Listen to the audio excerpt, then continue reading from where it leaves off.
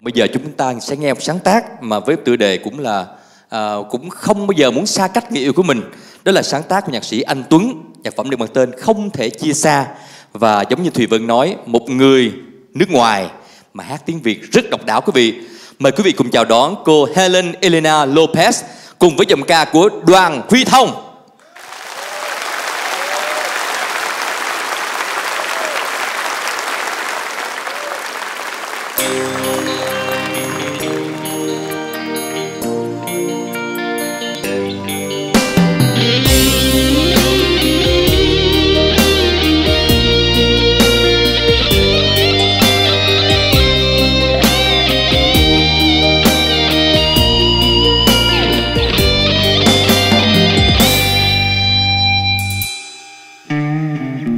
Tình mình còn nhiều ngăn cách lắm em.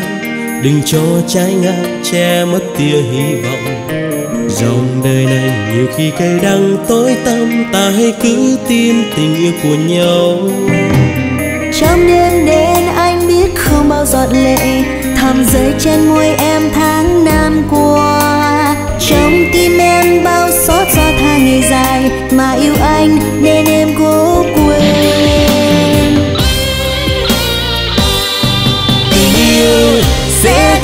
qua tim, vững bước trên thời gian, xóa đi những ngăn cản.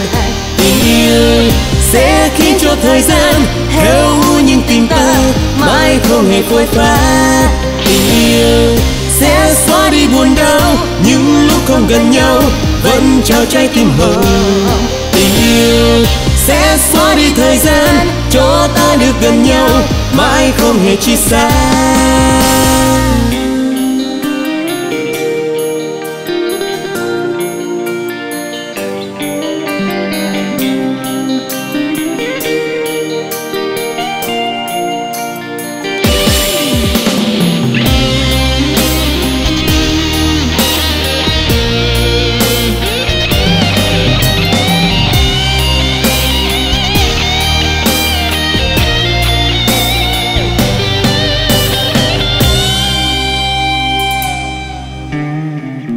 Tình mình còn nhiều ngăn cách lắm em. Đừng cho trái ngang che mất tia hy vọng. Dòng đời này nhiều khi cay đắng tối tăm, ta hãy cứ tin tình yêu của nhau. Trong đêm đến anh biết không bao giọt lệ thầm rơi trên môi em tháng năm qua trong tim em bao xót xa tha ngày dài, mà yêu anh nên em cố